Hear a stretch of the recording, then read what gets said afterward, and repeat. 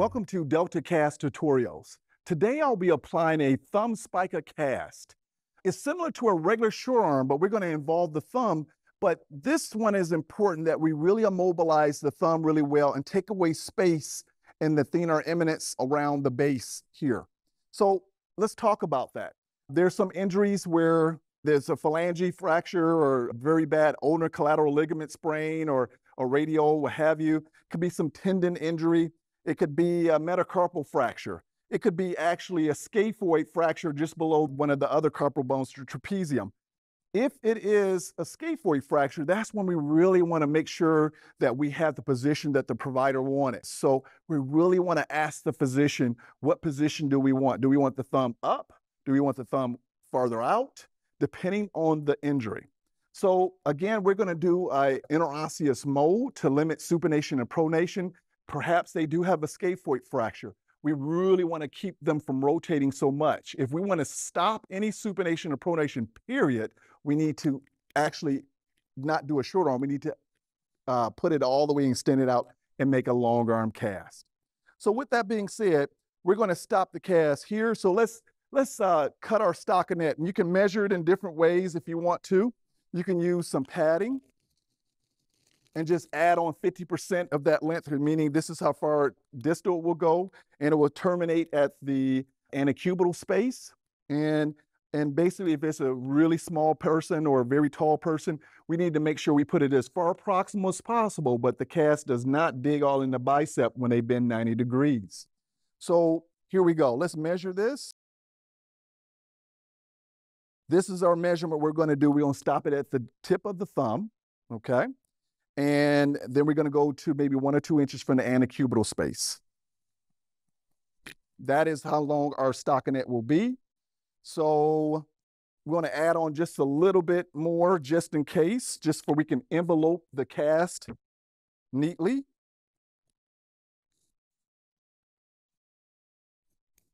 So let's add a little piece for the thumb, maybe six inches or so more. And I'm using a one inch for the thumb. So I'll just roll this up. If they're in a really, really uh, acute situation where the injury is really, really tender, then you can put your hand through the stockinette and load the stockinette on for them that way. You can put your hand like this for me.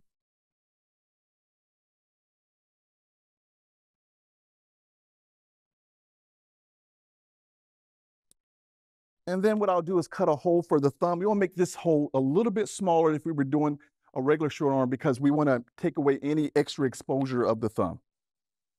So I'll pull that to the side, cut a little small hole. Now we have that ready. Let's add our one inch for the thumb. So what we're going to do next is just make a little slit. And the slit will go towards the index finger.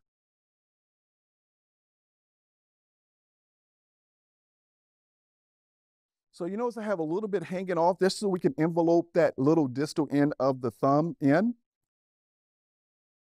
So let's add our padding.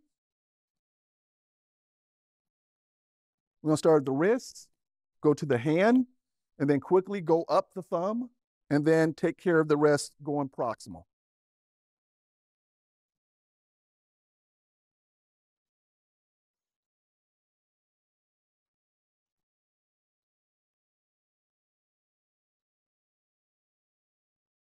Now I'm gonna go up the thumb and I'll start going in a little angle. And I want you to see this here. I'm gonna hold the thumb so that I don't move the thumb or jerk the patient's hand around and it hurts them more.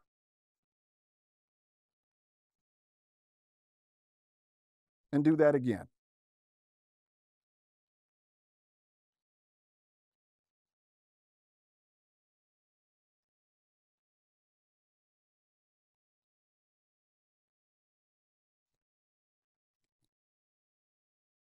Now what I want to do is just go through the web space again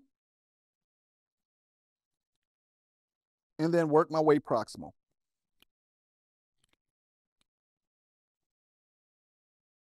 As I go down the cylinder-like portion of the extremity, I want to do what we call that 50-50 coverage, but I also want to make sure that I have a little thicker edge at the base. Watching out for any shadows, this thin layers of padding that can cause pressure areas to form.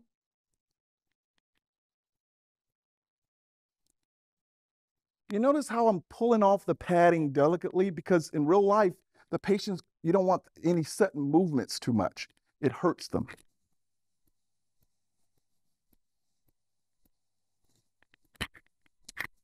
So let's add our cast tape now. Before we add our cast tape, we're going to reposition the patient just in case they move. Um, so we want to tell the patient, instruct them, we want to make sure they're free from ulnar deviation because uh, their hand may start to drift down this way.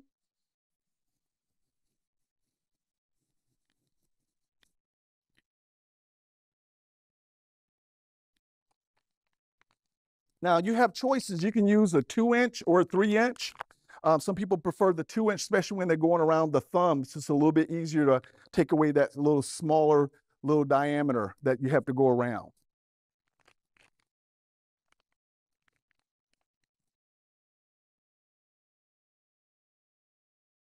So I'll just go ahead and soak the roll for at least two to three seconds. Get a lot of water in, inside of it. And then squeeze that off. And we apply the cast tape the same manner we did the padding. Start at the wrists, go through the web space a tad, and then start taking care of that thumb. And then work our way proximal.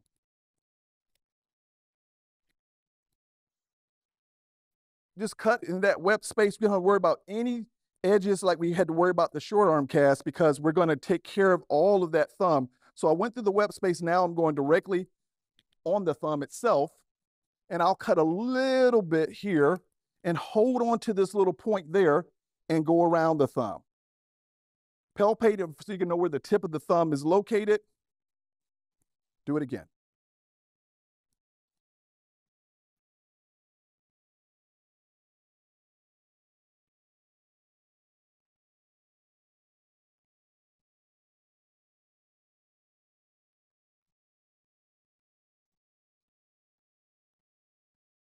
So now what I'll do is go through the web space.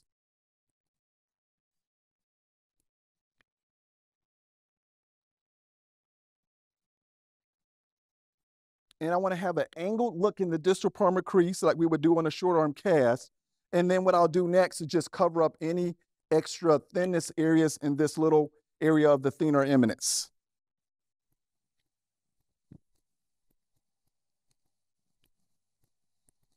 Go through that web space one more time.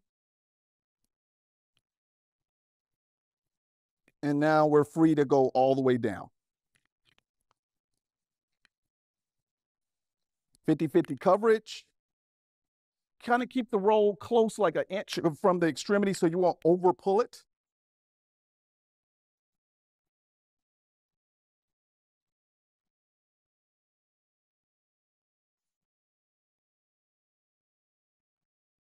And as I go back distal, I'm keeping my pull from being too much.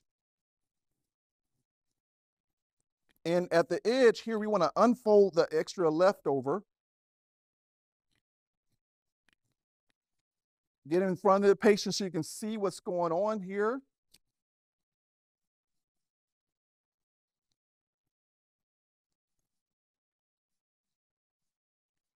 So now what I'll do is I want to get that position. So I want to go ahead and make sure that I have enough extension. And then I want to start to contour this around the thumb. Take away all this space in this area by using the thenar eminence of your hand.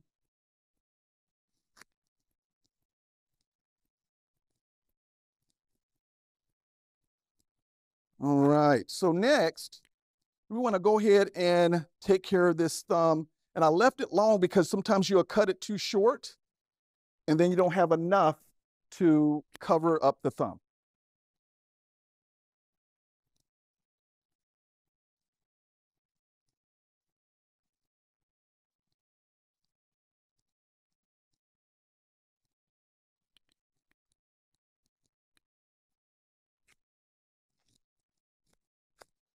All right, so what I'm going to do now, I'm going to go ahead and do the interosseous mold. The same mold you would do on a regular short arm cast. So let's take this away just for a second. And I want to laminate this area.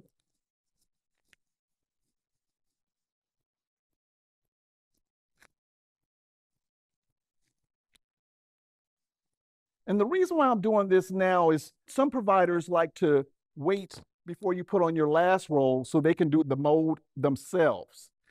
If you're doing this regularly, just go ahead and apply your other roll right away.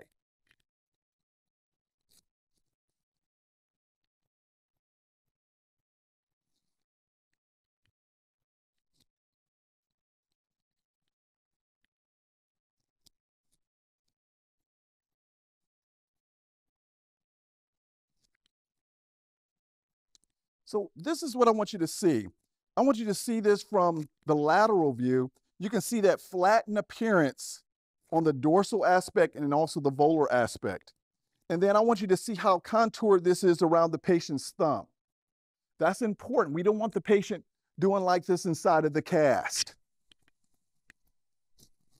And then last but not least, we want to, you can relax your hand just a little bit. We want to take away all this space in here so you, what you want to do is just kind of line the fingers up, okay, so that the fingers are not squished, if you will.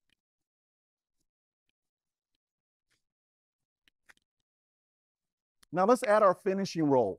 Now this is considered a cosmetic roll, but our goal is to also strengthen the cast itself for wear and tear.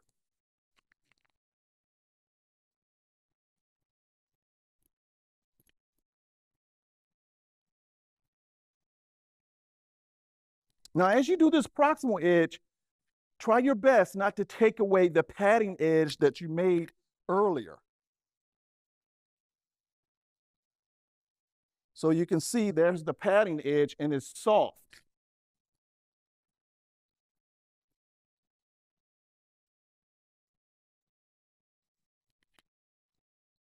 So I'm gonna go through the web space. And then what I'll do is just take care of that thumb in just a second.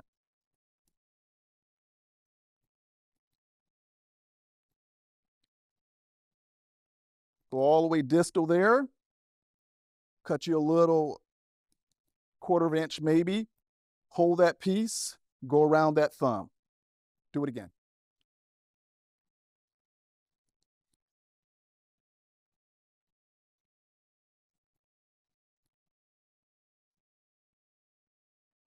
Now, let's go through that web space one more time.